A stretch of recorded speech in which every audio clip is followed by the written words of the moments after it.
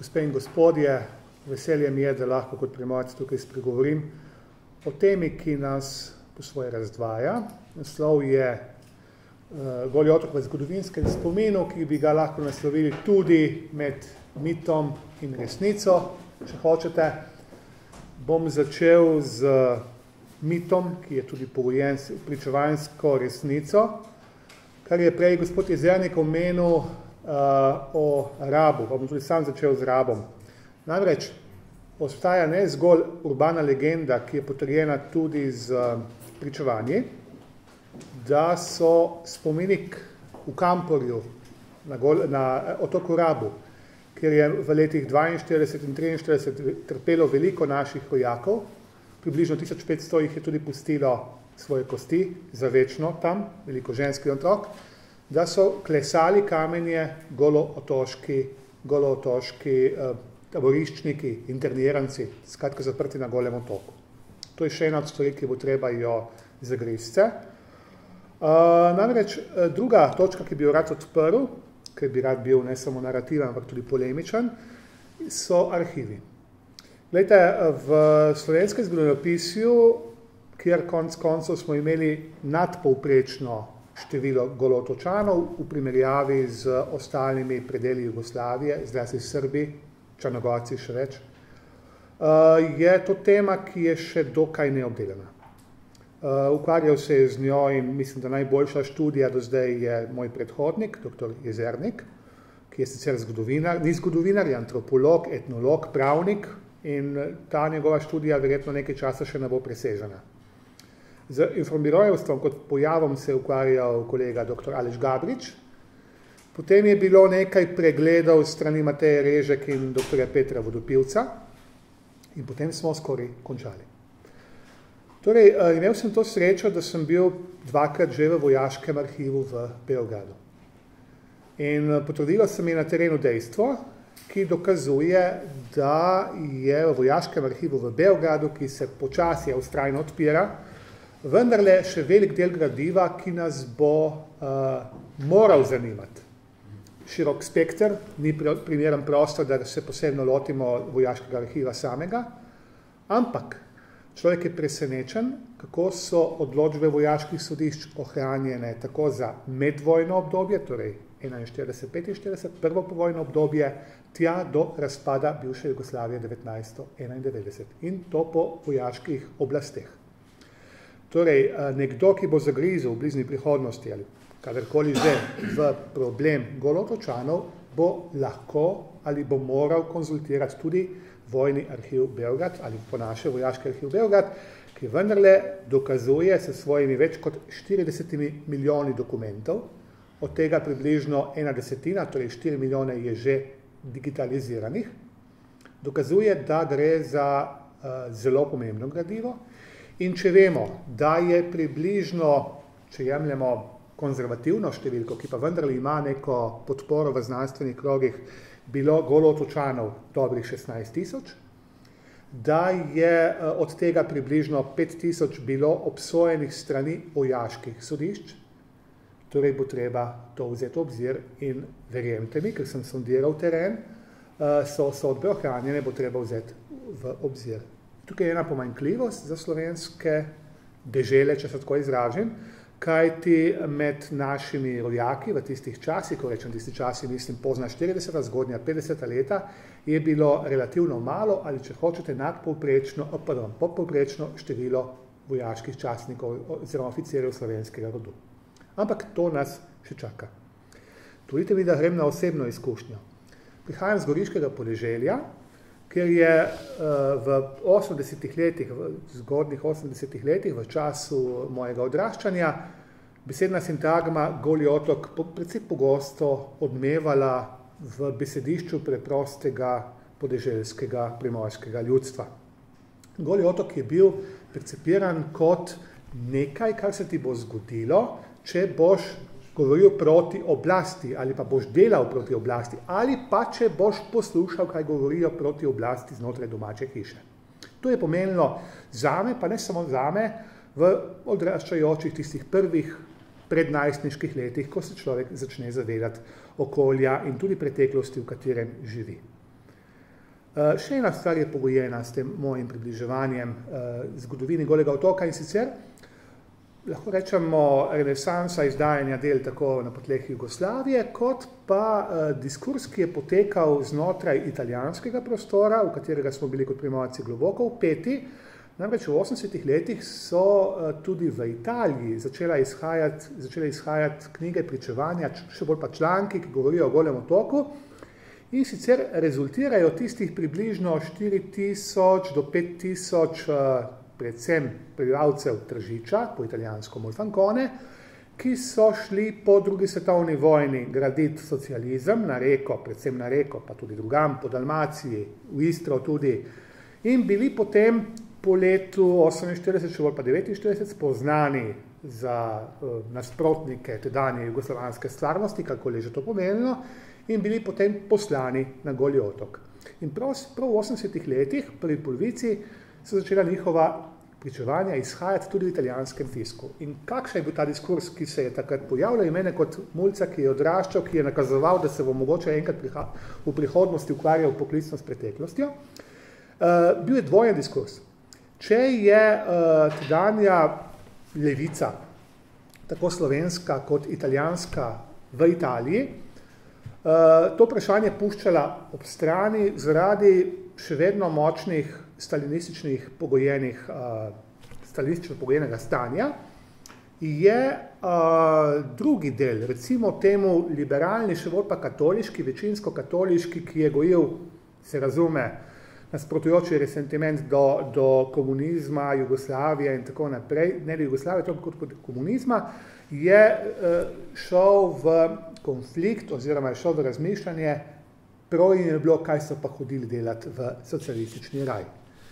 Ko sem pri tem, grem uh, v percepcijo razmišljanja slovenskega človeka, pred demokratizacijo in osamosvojitvijo in po tem, teh prelomnih dogodkih ob koncu 80-ih, začetku 90-ih let. Bivšo, nedemokratično, če hočete, totalitarno Jugoslavijo, sta zaznamovala v svojem bistvu dva dogodka. Nista bila edina, nista bila mogoče najbolj krvava, eden nedvomno je bil, ampak usidrala sta se v našo podzavest. Prvi je bil po vojni poboji in drugi je bil goli otok. Na, spet se bom na osebno rezultiral na primorsko podeželje in verjamem, da je bilo še kje druge tako. Če smo jemali povojne poboje, mogoče na krajinskem še bolj, ampak tudi v moji družini, kjer smo odraščali vzgojeni v odzmeraj proti komunističnem duhu, je bilo, uh, po, po vojni poboji so bili nekaj groznega.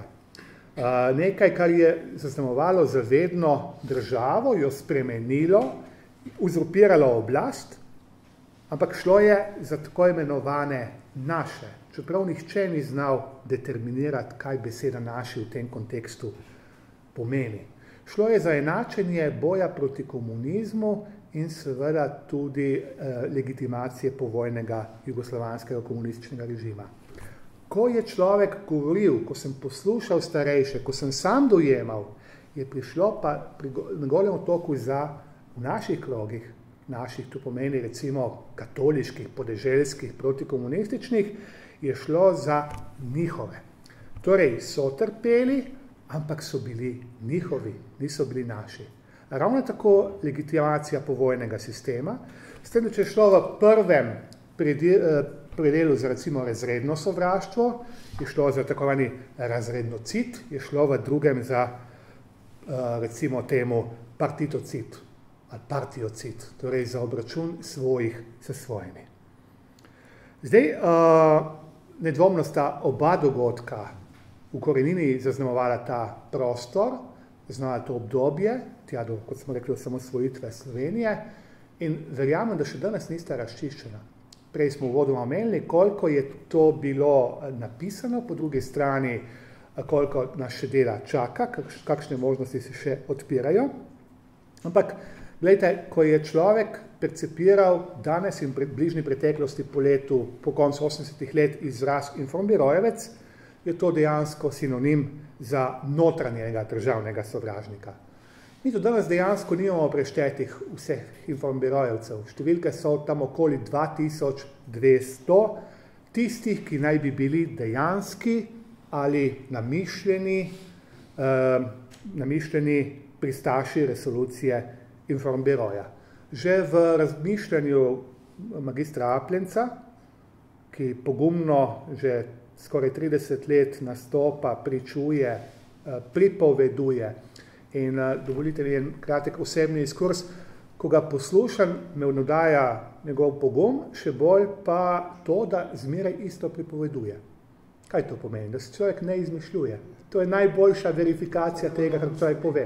Dobro spomin že, ampak njegove pripovedi se v nijansah ne razlikujejo. To je ni nič naučenega, ampak je nekaj neposredno pričevanjskega. Slišali smo, da je goli otok od 15 tisoč do 40 tisoč zapornikov, številke slovencev se gibljajo, tega še danes nismo rekli, da smo približno eh, od 550 do recimo maksimalna 650, ampak pogledajte, ena druga številka je zastrašujoča, ki smo jo premalo izpostavili, da je samo približno desetina izmed teh, to je približno 60, doživela sodno rehabilitacijo.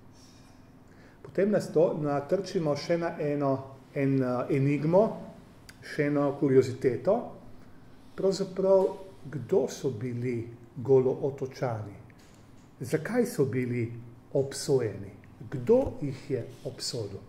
To so zdaj eh, bolj ali manj izhodišča, tudi če hočete besedne igre, kajti razen, razen ob, eh, tisti, ki so jih obsodila vojaška sodišča, tedanje jugoslovanske ljudske armade, in za katere še enkrat ponavljam, imamo dokaze v vojaškem arhivu v Beogradu, ki je mimo grede na pol zaprt in si tudi slovenska eh, oblast iz tega mesta, to še enkrat ponovim, slovenska oblast, premalo prizadeva, da bi bil odprt in raziskan in je to, namesto da to stvar nasledstva vseh držav bivše Jugoslavije postaja notranji srpski problem in v njega brez dejansko nekega jamstvenega pisma ne morete, nastopi vprašanje, kdo so bili ti golotočani.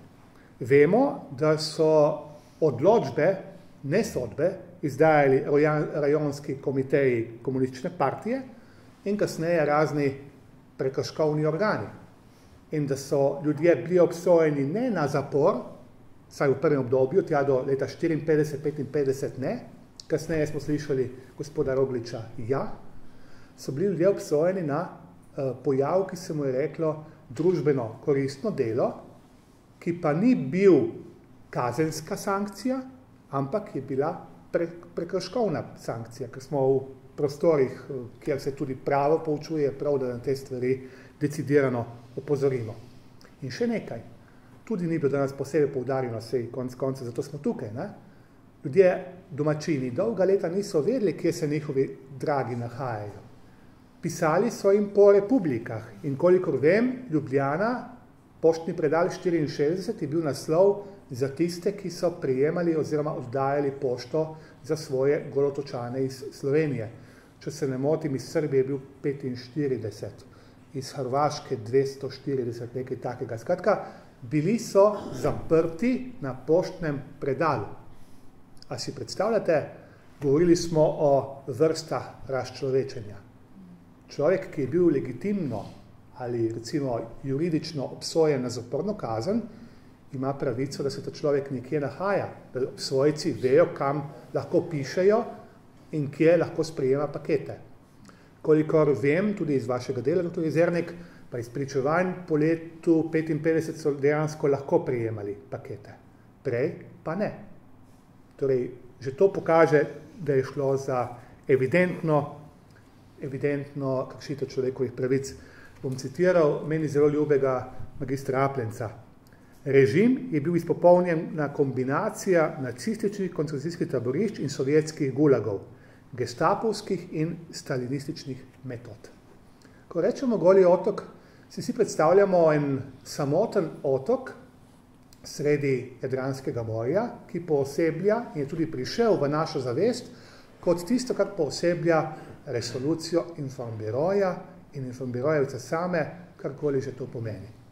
Glejte, ni bil samo goli otok, preveč se ga jemlje v obzir, danes je bil omenjen Sveti Grgor, ki je bil v prvem obdobju žensko taborišče, potem taborišče za, za uh, častnike oziroma oficirje jugoslovanske vojske. Nekatera pričevanja pripovedujejo o tem, da so bile razmere še hujše na Svetem Grgorju kot na samem golem otoku, ampak hkrati se pa pozablja na cel niz ostalih taborišč, ki so bila namenjena tako imenovanim dejanskim ali pa namišljenim informirojevcem širom Jugoslavije.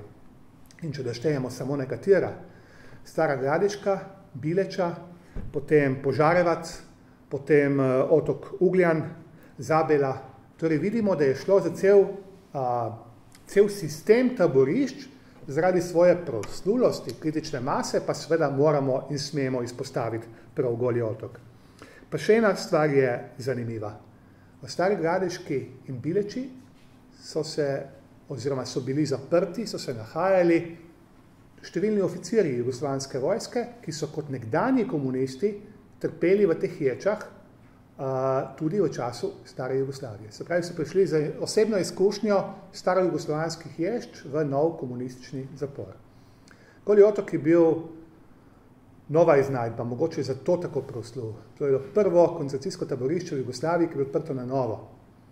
Uh, Goli otok je bil stoletja, stoletja, uh, stoletja je bil neposeljen, razen pastirjev za raba, pa celine, kašna ovce in koze, tam ni bilo žive duše. Ena od stvari, ki nas čakajo v bližnji prihodnosti, sam še nisem sondiral terena, ampak dokumenti po pregledovanju so, je vojaški arhiv na Dunaju, Krigsarhiv uh, Vin, torej uh, Dunajski vojaški arhiv, ki bo moral pokazati, in verjemte mi, da Nemci imajo to poštivano, njihov ordnom disciplino, oziroma avstrijska vojska je delala tudi med prvo osnovno vojno, takrat je prišel Goli otok prvič do širšega, širše izrabe ne, prostora. Na njem so uh, namreč uh, internirali ruske častnike ujetnike avstralske vojske, ki so jih zajeli v Galiciji na vzhodni fronti in naj bi tja šli tisti, ki so bili znani po pobegih, torej ki so kazali intencijo pobega iz ujetništva, so jih tja prvič naselili, naselili na, otok, na Goli otok. Verjamem, da bo tudi to treba zagrist v bližnji prihodnosti. Da je Goli otok bil neka taka enigma, čeprav smo slišali pri mojem predhodniku, dr. Jezerniku, da često temu ni bilo tako in res lahko potrdim, da so v 50., 60., 70. letih izhajala pričevanska, bolj kot pričevanska, recimo temu glorifikacijska dela, ki govorijo o golem otoku, malo je bilo samo kritika ali pa kritike. Torej, ta se pojavi šele v 80. letih. Po Titovi smrti neminovna sprememba v tedanji Jugoslaviji in treba je omeniti, da je na prvih knjig, ki je išla za neko kritično distanco a, o golem otoku in ima tudi pridih znanstvenosti, je knjiga Antonija Isakoviča, Tren 2. Zanimivo je šla je v Belgradu leta 82 in če me spomin ne vara, jo je za verifikacijo oziroma za dobiti imprimator strani partijske konference, lokalne, krajevne, moralo požegnati 23 recenzentov preko so dovolili izid same knjige. Potem so stvari šle, spet smo tukaj pri Srbih in Črnogorcih, ki so, ki so tukaj prednjačili, kdo ne pozna eh, Radoniča, že v Belgradu je to, to 85. leta. Eh, v zadnjih letih smo vsi pod vtisom Dragoslava Mihajloviča, ki je to izdal v šestih monumentalnih knjigah. Eh, na Hrvaškem je bil to dr. Ivo Banac, ki se je proslavil s študijem predavanji v Ameriki in na koncu tega pregleda po bivši Jugoslaviji bi se ustavil pri Dobroslavu Paragi. Dobroslav Paraga je eden najbolj znanih ali bolj znanih, recimo najbolj znanih hrvaških disidentov, študent prava in teologije, ki so ga aretirali že leta 1980 pri svojih, mislim, je bil prvi ali drugi letnik fakultete, ga obtožili eh, proti jugoslovanskega, proti jugoslovanskega delovanja in Dobroslav Paraga je eno leto preživel na golem otoku, v njegovi pozni dobi. Se vračam kratek ekskurs nazaj. Goli otok ga lahko umestimo, smo že slišali, juli 1949, do nekje 1958. Smo že dr. Rogliča slišali, čeprav se posamezne skupine tudi povratnikov omenjajo tja do leta 1963. Treba pa upoštevati, da ob koncu 50 let na Goli otok prihajajo v glavnem ali začnejo prihajati vladovati kriminalci, oziroma obsojenci za kriminalna dejanja, po letu 80 pa pride do neke tako imenovane revitalizacije tako imenovanih političnih zapornikov. Tukaj bi izpostavil dve kategoriji. Prva so tako imenovani sovražniki strani Hrvaške, ker je to ne ob polemikah, torej ni bilo, so bile polemike, ne neodsotnost polemik, dvojno zanikanje, znotraj jugoslovanskih zvezdnih oblasti, ali ne to predajo hrvaškim oblastem ali ne v upravo in to se je potem zgodilo.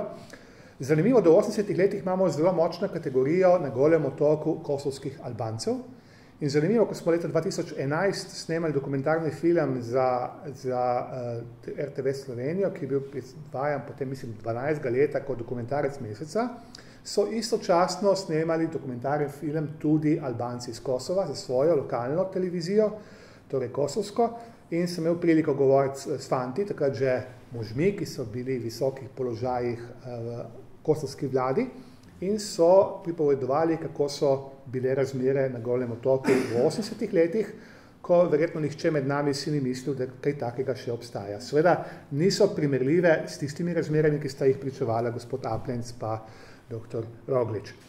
In uh, tudi hrvaški disidenti, ne glede kaj si mislimo o Dobroslavu Paragi, uh, ki je uh, bil ustanovitelj nove, na novo, svoje, na novo osnovane po demokratičnih spremembah Hrvaške, Hrvaške stranke prava in je potem šel na druge poti in se samo konkretno, ampak to ni relevantno s tem, ne strinja, je dejansko on dal pretresljivo pričevanje, knjigo je napisal leta 1995. On je bil med zadnjimi izpuščenimi, koliko vem, Goli otok je bil uh, razpuščen popolnoma šele leta 1988, oziroma zadnji zaporniki naj bi odšli spomladi 1989. In Dobroslav Paraga je dal grozen nasprotnik komunizma in Jugoslavije, hrvaški recimo temu nacionalist, je dal naslov knjige, ki ni nimamo v slovenščini, Goli otok, istočni grijeh Zapada. Torej, uh, Goli otok, vzhodni greh zahodnega sistema. Pri nas, pri nas uh, smo imeli renesanso v koncu 80-ih let, uh, 90-ih letih, nekaj je bilo že omenjeno. Jaz bi se vsekako kot zgodovinar omenil pretresljive zapise autobiografske Dimitrija, Dimitrija Želevskega, Radovana Hrasta, čas, ki ga ni. Radovan Hrast je tudi eden izmed tistih, ki je bil povratnik, torej tako imenovani dvomotorc na Golem otoku.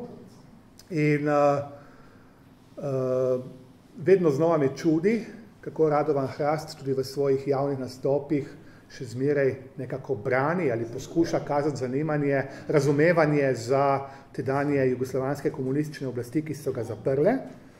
Uh, potem bi omenil Janeza Jezerška, Martina Menclja, Ceneta Logarja, Jožeta Jurančiča smo veliko že slišali danes, Andreja Aplenca, ki je po moje po svetu eno boljših študij o golem otoku v prvi knjigi in razstavi Temna stran meseca. In v zadnjih letih bi izpostavil uh, še Mihajla Cenca, ki je ne toliko zapisal, kot je pričeval, tudi v oddaji pričevalci, če se prav spomnim, je bil, bil taka lirična, pesniška duša, se živi še zmeraj na Gorenskem, ampak da noge ne ubogajo več, in je skozi to svojo lirično pripoved zapolnil vrzel v poznavanju golega otoka. In uh, drugega gorenca bi izpostavil Iga Sajovca, ki je bil kako simptomatično partizanski poveljnik, uspešen na Sremski fronti in je potem končal na Golem otoku. Priporočam branje oziroma dobite jih na internetu uh, Franca Sukjatija. V zadnjih letih me pa posebej eh, radostijo spomini eh, eh, kraškega oziroma primorskega rojaka Virgila Gomizelja, ki je imel tako zanimivo zgodbo od partizanskega 16-letnega borca do zdravljenega ranjenca v bolnišnici Pavli, do povojnega skojevca, komunista, zapornika na Golem otoku, do disidenta in tistega, ki je pobegnil leta 1951 čez mejo in uspel v Avstraliji.